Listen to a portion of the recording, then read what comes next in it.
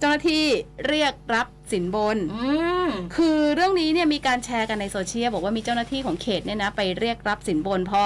กทมทราบนะคะค่ะทางด้านของรองปลัดกทมค่ะนายเฉลิมพลโชตนุชิตนะคะ พร้อมด้วยพลตำรวจเอกอดิศรงามจิตสุขศรีนะคะ ท่านที่ปรึกษาของผู้ว่าราชการกรุงเทพมหานครก็เลยตั้งโต๊ะแถลงข่าวเลย เมื่อวานประมาณค่ะเกือบเกือบๆสองทุ่มอืมแถลงนะค่ะเออก็คือมีการรายงานนะคะ เรื่องของฝ่ายรายได้สำนักงานเขตราชเทวี ในความผิดฐานเป็นเจ้าพนักงานเรียกรับับสินหรือประโยชน์โดยมิชอบเพื่อกระทำความมิชอบด้วยหน้าที่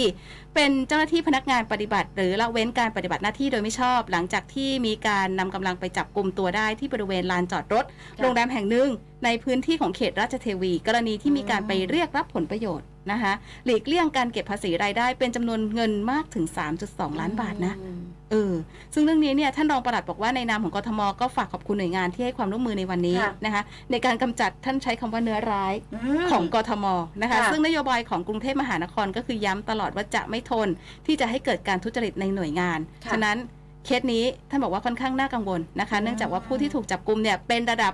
ผู้บริหารของสำนักงานเขตค่ะเออ มีหน้าที่ในการดูแลกิจการสาธารณะของประชาชน แต่กลับใช้อำนาจหน้าที่ที่มีอยู่ไปในทางที่ไม่ชอบนะคะค่ะก็ต้องดำเนินการอืมอืมไม่ปล่อยเอาไว้นะคะ